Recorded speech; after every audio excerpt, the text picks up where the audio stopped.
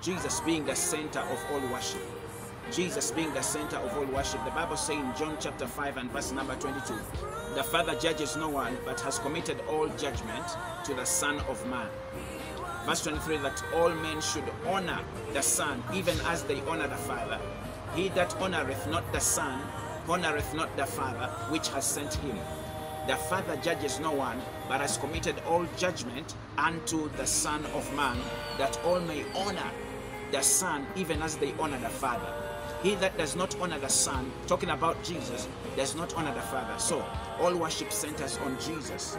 Ladies and gentlemen, all judgment has been committed unto the Son of Man, unto Jesus. And so the Father judges no one. Even on the last day of the judgment of the living and the dead, it will be Jesus who died for mankind, who will judge men, ladies and gentlemen. So the Bible says in John chapter 1 and verse 18, no one has seen God at any one time except the Son of God, who is in the Father's bosom, has made him known. No one has seen God at any one time. Of course, we see that God revealed himself to Moses on the mountain of Sinai, and he said, I will not show you my face, but you will see my back. Because if you see my face, you will not live. For no one seeth my face and lives. But Moses saw the back, the figure of the back. But that was the Christ, ladies and gentlemen, because Colossians chapter 1 and verse 15 says, He is the image of the invisible God, the express image of the invisible God, and the firstborn over all creation.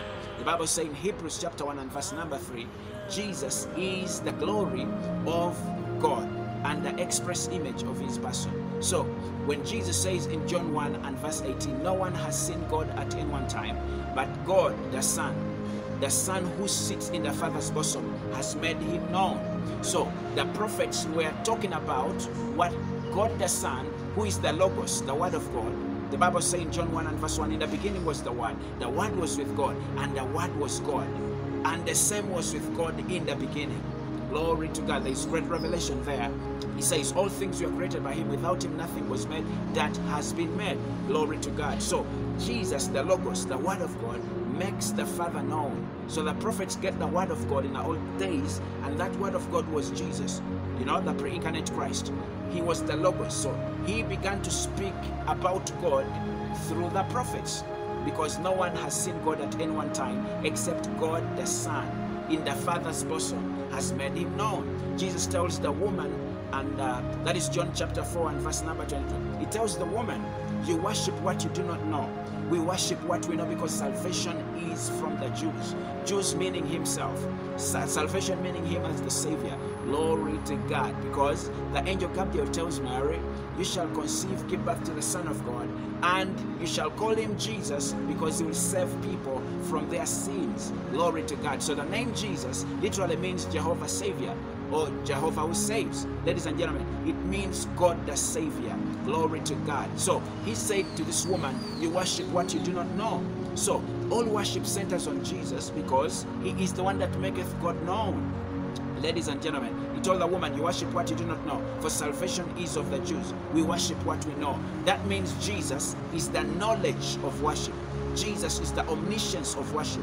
Jesus is the figure, divine figure of worship, is the center of worship. Glory to God. And ladies and gentlemen, I also want you to understand what the Bible says in Colossians chapter 1 and verse 19. The Bible says, It pleased the Father to make all his fullness dwell in his Son. It pleased the Father to make all his fullness dwell in Christ. So there is one God, and his name is Jesus Christ. Oh, it sounds controversial, but that is the truth. God the Father has, is, has been pleased to make all his fullness, all his attributes, his deity dwell in his Son. Ladies and gentlemen, that's what the Bible says. God has exalted Jesus to the highest place. Highest place talking about that place of God, from man to God. Because when Jesus came, he switched from God to man. Glory to God. You know, Jesus came as God and as man. And that's why the Bible says He's Emmanuel, God with us. But also the Bible calls him Son of Man. Let that not confuse you. He was 100% God, 100% man in his earthly days. Glory to God. That's why he acted as a man. He prayed to God. Ladies and gentlemen, he prayed to God. But also the Bible says he praised the Father, not praying to the Father. The Bible says in John 14 and verse 16. If you love me and obey my commandments, I will pray the Father, not I will pray to the Father. So he prays the heart of God. He speaks the heart of God.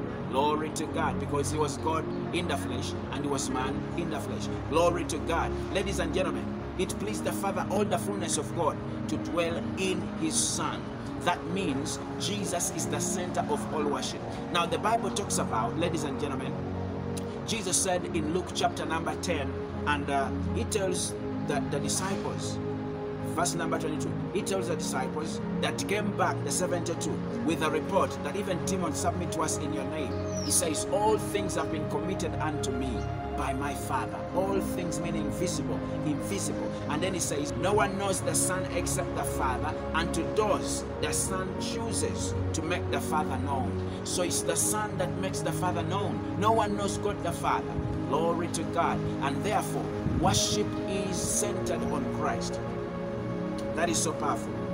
Worship is centered on Christ. You know, the Bible talks about Jerusalem, the city of Jerusalem, which is going to come down from heaven. In Revelation 21, that city of Jerusalem, the holy city built by God, which is going to come down on a new earth. The Bible calls it the bride of Christ.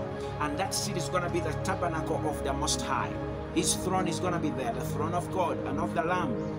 Ladies and gentlemen, so all the nations in the new earth, the nation saints, those who have crossed from death to life, glory to God, they will know that that tabernacle is where God dwells among men in the new earth. And that is the center of worship. And the Bible calls it the pride of Christ, meaning Christ is the center of worship from all tribes, language, nations, race, colors. We see that in the book of Revelation. Glory to God. That is so powerful because He washed them with it. He bought us with His blood from every tribe. You know, Revelation 5 and verse number 10. Bought us with His blood from every tribe, language, race, color, unto God and to make us priests and kings to serve God and reign with Him on earth. The new earth is coming. We will reign with Christ. Glory to God. But I want you to understand, ladies and gentlemen, that Christ sent us all worship. Glory to God. You know, the Bible says in Hebrews 1 and verse 6 when God was sending his firstborn into the world, he commanded all angels to worship him, all invisible creatures to worship him. Meaning, Jesus sent us all worship eternally. Angels worshipped him. And how did they worship him? Luke 2 and verse 13, the Bible says, when Gabriel was talking to the shepherds, delivering them the news that their king is born in Bethlehem, the city of David, the Bible says, and suddenly with the angel Gabriel appeared the heavenly host, many angels, a choir that sang and said, Glory be to God in the highest, peace on earth and goodwill on men on whom God's favor rests. Meaning, they were rhyming, they were obeying Hebrews 1 6 when God was sending his firstborn, he commanded all angels to worship him. Glory to God. So if all angels, not some, not some, but all celestial, glory to God. If all angels worship Jesus, all angels, then Jesus sent us all worship, ladies and gentlemen. Glory to God.